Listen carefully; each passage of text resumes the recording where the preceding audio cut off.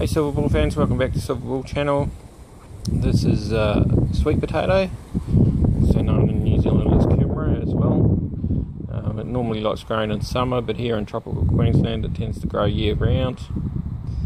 Um, we're going to harvest into that and see what we've got.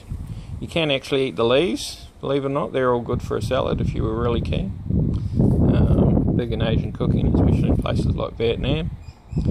And uh, we'll see how this is going. It's June, so um, you can see it's got runners all out that I've tried to half bury. So that it'll have more tubers on, but I'll try to harvest just a corner and leave the rest there.